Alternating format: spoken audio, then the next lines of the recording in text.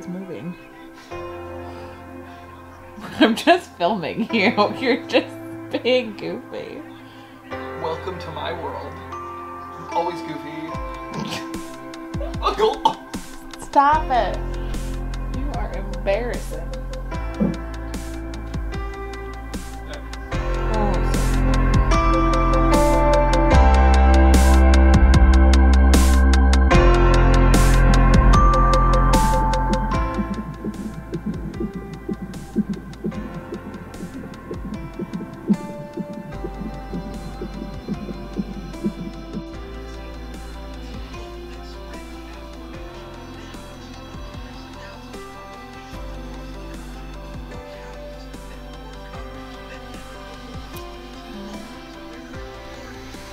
So it is like 2:30 in the morning. We got here at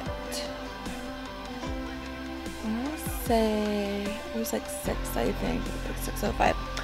We currently are using or being given Cervidil.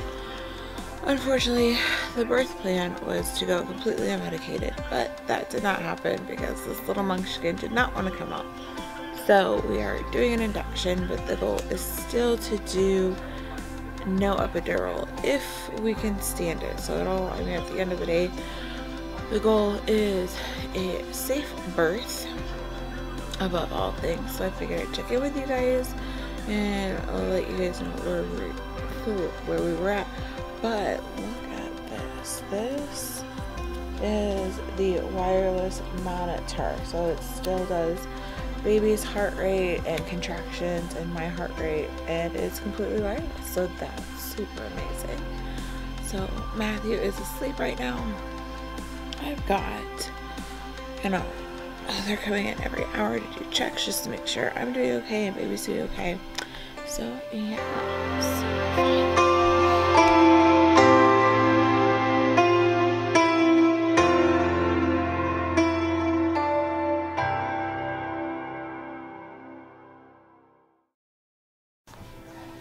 recording breakfast. And you. you I need to shave. You do need to shave. You're so scruffy. That's what happens when you don't go to work for a full week. Mm-hmm. Into work. I should clarify. So they said I've got the Cervidil in until what is it? It's 12 hours. So they put it 12 in. hours from about 8 thir- well, about 8 o'clock last night. It was 10. It was not 10 o'clock. Yeah, because I couldn't go potty until 11. Remember? Because I had to lay there till 11. Yeah. 15. Oh, this light though is really pretty. They're letting me eat, which is really nice. I'll just do it for you. There, you're gonna, you're gonna birth the baby for me. I wish I had a longer arm,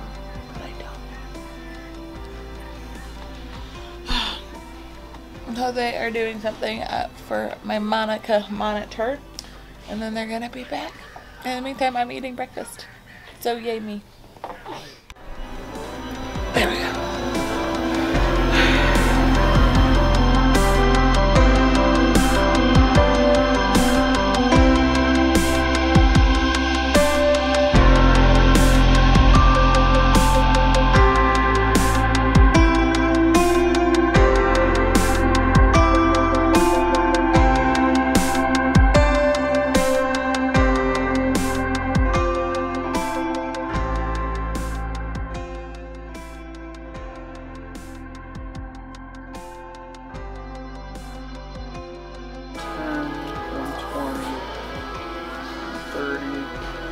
145 for you. Alright, what did you have? 150.